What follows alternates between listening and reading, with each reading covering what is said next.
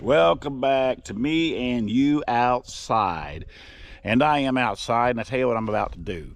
I'm about to catch a big carp, probably, um, I'm going to say 7 to 10, hey, let's go 6 to 10 pounds.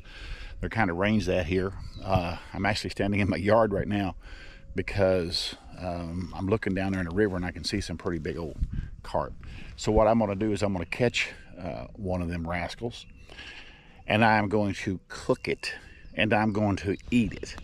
And the way I'm going to cook it and eat it, I have never eaten carp like this in my entire life. I'm going to cook it as I would uh, possibly a sucker. I'm going to I'm going to uh, uh, scale it, and I'm going to fillet it out, and I'm going to score the meat, cook the bones up as much as I can in throughout the meat. Now they have Y bones in them, and it's a little bit thicker bone. Maybe impossible to cook it up. I may have to just pull those out to eat it. I'm not sure. But the main goal of this um, particular video right here is just to catch a carp and eat it and just try it and give you an honest opinion of what carp is actually like. Uh, you hear all kinds of things about them. Now I've eaten them uh, canned, like and made salmon patties out of them. We fry them and stuff like that, but I have never caught one and, and, and, did to it what I'm going to do to a carp today. Now, all I'm going to be using here is I got a, a bell sinker on here, and I've got a, a smaller hook, probably a, um, oh, maybe a two aught, three aught at the most. And while I'm doing this, there's a big old red horse down there too, so I may end up catching him. And what I'm going to use for bait is pretty, pretty, pretty simple. I'm going to be using green, uh, canned whole corn. And that is all I'm going to use for bait. I know they love it here because I have thrown corn out there for them before and they have eaten it. They love, love corn. So let's get going here. I'm going to put this camera back on my head and I'm going to try to catch one of these things. Now, i got to show you something else I'm going to do here. That way, when I'm doing it, you'll know what I'm doing. Stay with me here. Got to walk up here under my house. Not completely under it, but here is a massive handle dip net. Now this is a this is a long handle dip net right here, and I need it because I am going to be scooping up this fish if I catch him here in the river. So I'm gonna have this handy. And what I'll do is you'll see me take this net and it'll go down in the water and I will try my best to land a fish with this. As you can see, I can touch the water with it. And um, this handle is probably, I don't know, 14 foot long, something like that. Big old dip net I got at Bass Pro's Outlet Store, which I buy everything at Bass Pro Outlet Store in Springfield, Missouri. All right, let's go here. It's pretty going to be pretty uh, interesting. Let's see if I can catch one of them big rascals.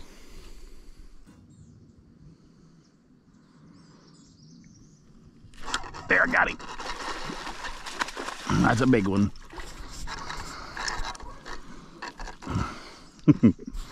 Boy, they're fighters now. Now the trick is gonna be you Just don't get over there and get wrapped around the stump. Gotta watch myself and not fall off this bank. I did not want to fall off this bank. It's like a 10 foot bank here, maybe more.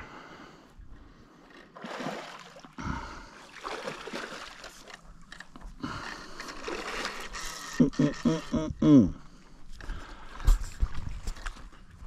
Come on, big feller. Now I'm gonna get my uh, net ready here. I ain't ready for netting. The other carp are just going crazy out there. Come here, big boy. I'll get my net ready. This is a trick, I'm not kidding you. This is a trick. If I get him in there, I got him. Come on, big. Ah, come on. Got it. No. Oh, I had to get rid of. Drop my pole. Oh. Come on, fella. Whew. Mmm. Ah, that was something else now. I'm here to tell you. Let's get him out there. He's a, mm, say, seven pounds probably. Hmm.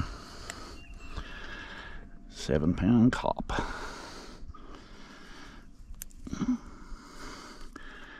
Get the hook out there.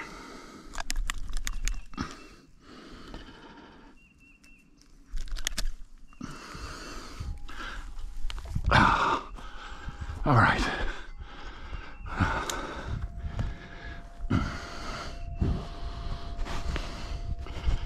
Really moving that camera from my head here so I can see what I'm doing. That's a nice big carp. Like I say, seven, at least seven pounds, I would say. Now, I'm gonna take him to the cleaning table and we will clean him and we will eat him and let's all be surprised together. Because I don't know. I just don't know.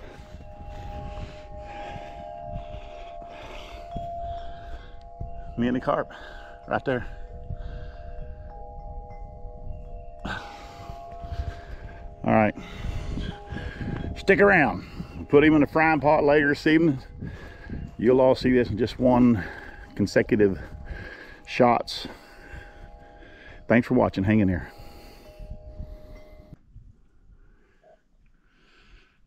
Time to skin this big feller. I weighed him. He weighed nine pounds. I thought he'd bigger than seven, but I didn't want to say that he was and then feel stupid the other way. So I'd rather feel stupid by underweighing a fish than overweighing a fish because I have done that too many times. All right, so what I'm gonna do is I'm gonna scale this rascal, get scales off of him. That's quite a, like it is on the sucker. I'm doing this on the, the bed of my uh, Kawasaki mule because it's okay. He, it's just his nerves, but um, because he's dead. But um, I do this outside away from my skinning area because these scales, see them flying around? If you do that in your shop or something like that, you'll find scales for a year or more. I don't want to find these scales. So I'll wash all these off of the driveway. And my wife can ask, what are those scales doing in the driveway? Then I'll have to explain that. But she won't buy it. Wilshie Jackson, my grandson Jackson, is running the camera right now. He's never done this before, but I think he's going to do a pretty good job. What do you think? Him and I went turkey hunting this morning. We didn't do any good. So we come back home. I went down there and caught me a carp. Had to go back up there and pick him up, come down here and help me with the rest of this video. So that's what he's doing, bless his heart. All right, well, I can tell you right now, I took scales off of him, but when you brush him back, look, it looks like the scales are on. It's kind of crazy. Come back this way. Look at that. It's skin. Brush it back. Scales. Kind of weird deal, I guess. All right. Now, I'm going to get this uh, fillet off of the body. I'm going. I'm just going up under here and hitting the, the backbone coming down. Again, just like you would fillet any other fish. Uh, coming in here along the spine. Uh, this this carp meat gonna be something else. Just to look at it ain't that bad. I did I tell you what I did. I bled him out. I cut his tail off Tried to bleed him that way like I do catfish, but that didn't work very good. So I had to uh, cut his gills up and he bled out pretty good. Which in turn took a lot of the red out of this meat, I think. I've seen other videos of guys doing this and the meat was a little bit redder. All right, look at that. I'm just staying against the ribs there. That's a pretty big slab of meat right there. Now it's got some all kinds of weird bones in there. But I'm going to try to scale it. I'm not going to. I'm not going to finish uh, that side yet, Jackson. So we don't have to worry about that right now. See, I'm talking about scales everywhere. And let me, while you're there, Jackson, let me get my garden hoses. Hose this off real quick. The size of these scales. Whoa. Those are big scales. Yeah. Big scales. I did a sucker video. Probably y'all saw that. Most of you did. Everybody was saying, or somebody was saying, oh, it's a carp. That's, no, it wasn't a carp. It was a sucker. White sucker. Here in Missouri. This is just a river carp. I mean, just a basic carp you'll find anywhere down in the down in this part of the country, on the lakes, rivers. They're in abundance. If I could figure out this was really a good eating fish, I could have tons of fish to eat if I thought that was the case. Now what I'm gonna do is pretty good size uh, piece of meat right here. So I'm gonna come right down here and I'm just gonna take this skinnier piece out, which is gonna, I can tell by cutting it's got a lot of bones in it. And I'm gonna take some of this red out, only because I'm not stupid. And I know that there's this red meat in a lot of fish, and most fish, is no good. I might make good catfish bait. I have to think about that. Now, I'm keeping some red meat in there because if I take all this red meat out, it's, on, it's right next to the skin. Well, I have to keep this skin in there. So I'm going to cut this in pieces that I would want to fry, about like that right there. Okay, now then, I'm going to score this. Again, I'm cutting it down just to the skin. I'm going through bones like crazy. You can hear it. Hear that? This will be so interesting. I'll have my wife here after a while and she'll uh, taste test this with us. Or we might just do it just me and my grandson here together. We'll see. All I'm doing again is I'm just cutting this about trying to keep it within uh, 3 16ths, eighth of an inch. Again, just like I would a sucker. And again, what I'm trying to do is allow grease to hot grease, 350 degrees to get down in these cuts right here and fry up the bone. That's the goal. Again, there's bigger bones in a carp, so we still may have to pick bones out as we eat. But they'll be noticeable. They won't be sneaky where they get in your mouth and you swallow them accidentally. We're not going to do that. Okay. I'm just going to finish doing this, this carp.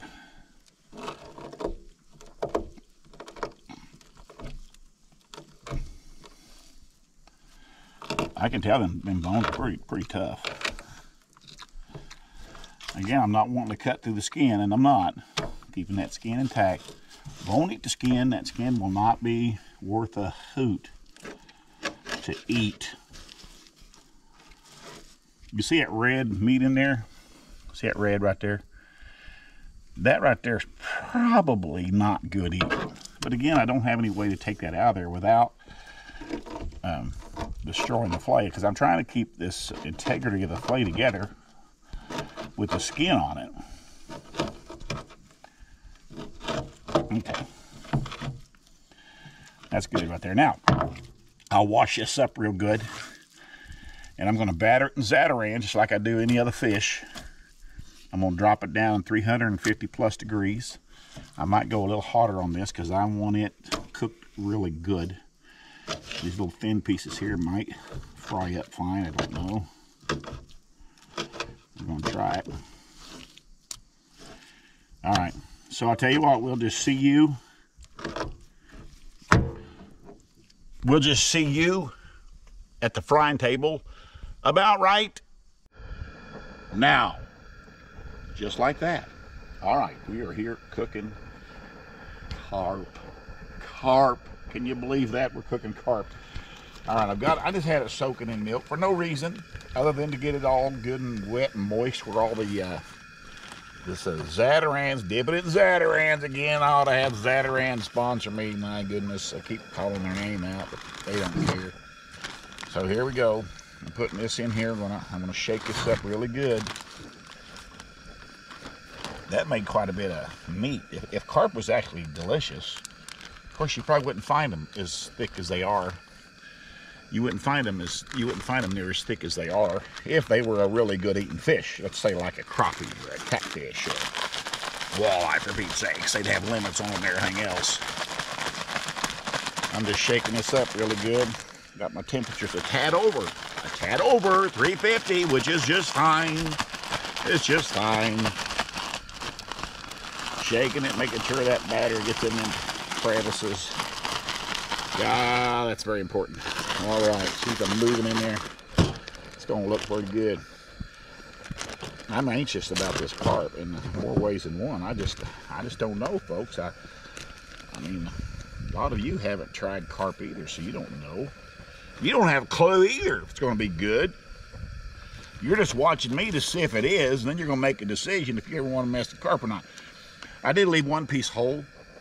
I took the red off of it, and I didn't score it just because I want to do something different. We'll see how that piece turns out.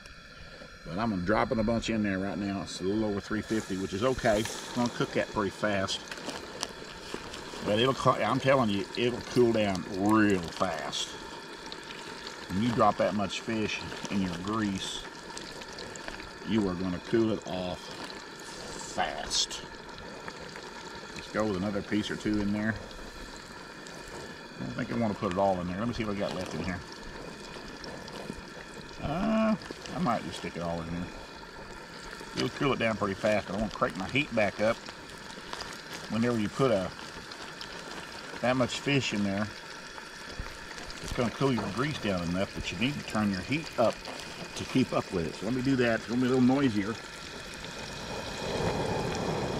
A little noisier, but see, it's already dropped to 350. It was it was about 320. and It's come down about 20 degrees uh, in just a, a short minute there.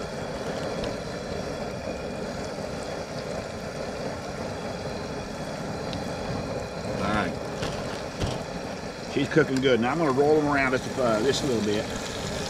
I mean, you know, as far as fish goes, it looks as good as any fish you'll ever cook. That part I can tell you. But how's it going to be at the, at the table fare? As a table fare, I'm not sure. I will do a video, maybe in the next uh, couple weeks, of pressure cooking carp. And I'll show you the, the difference in it.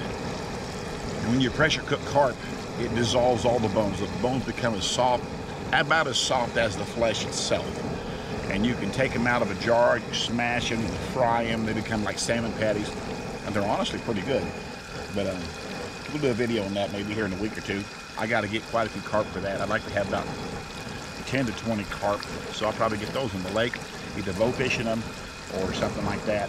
Get numerous carp. And get them right now because they're spawning on the lake. But uh, we'll see what happens. Hopefully I can do a video on that in the next couple weeks. I'm to let these cook for just a little bit. And then I'm going to take them out. So stay with me. I'll be right back.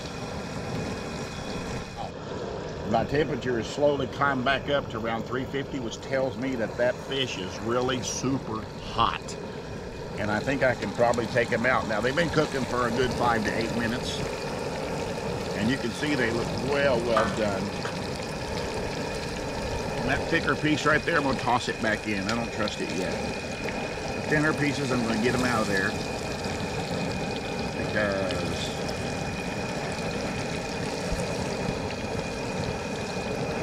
they are definitely smaller piece there. Oh, they're cooking so pretty. Pretty, pretty, pretty.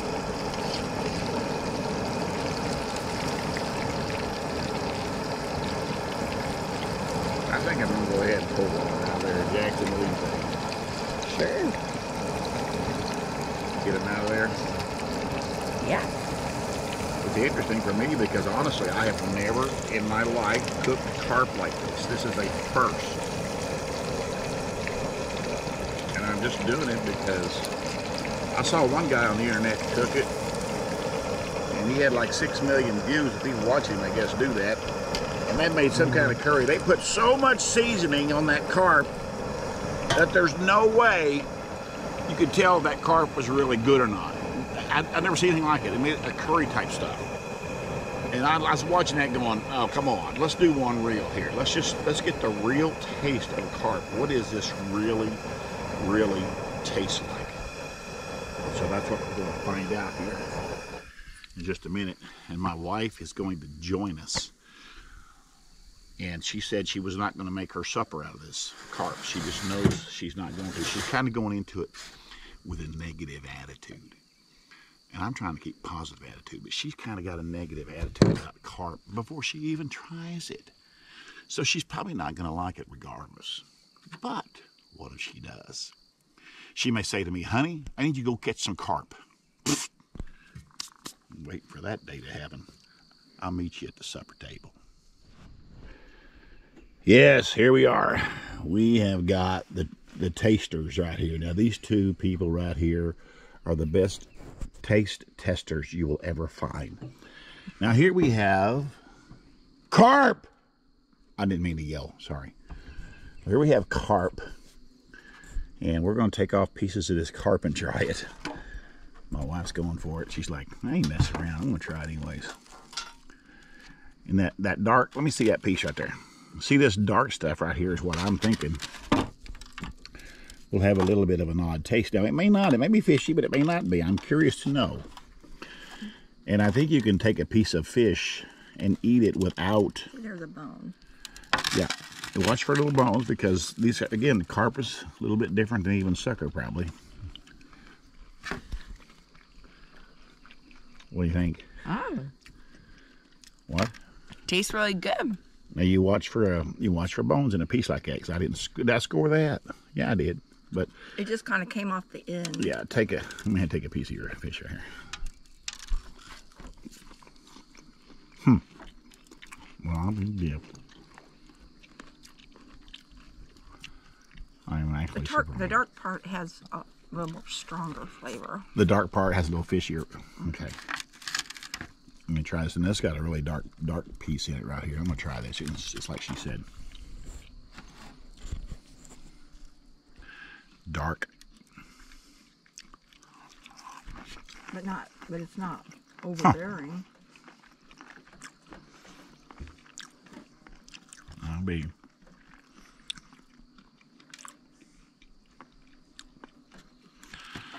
I'm actually kind of surprised.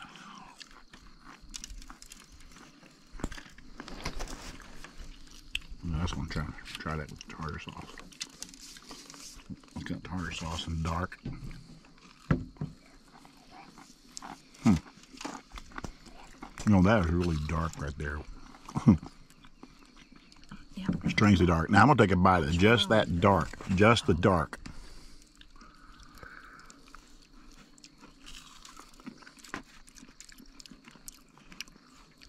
I'll be darned. You know,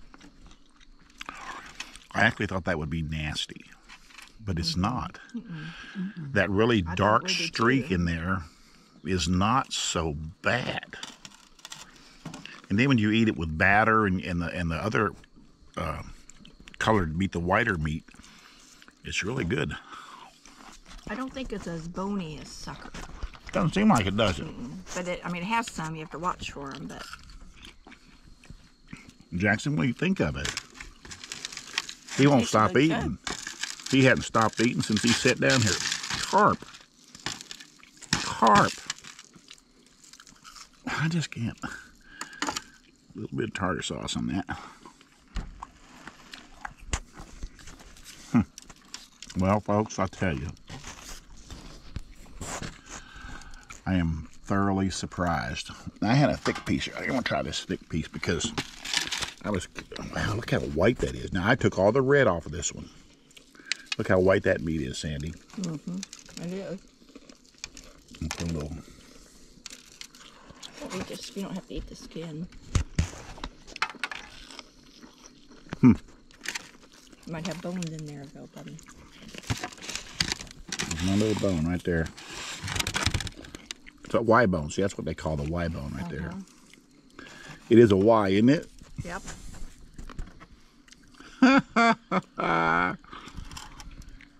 That's really cool.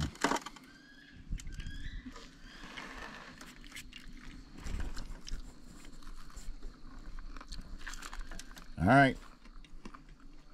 Yep. It's good. It's surprisingly good. Mm -hmm. We're going to move on from here. Thanks for watching. We have come to the to the conclusion that carp is not that bad. We're actually shocked. I'd be careful how you cook it. Be careful uh, when you eat it. Them Y bones are big enough, you're not going to probably put one in your mouth and swallow it. You're going to figure it out. It's in your mouth. You're going to take it out real quick.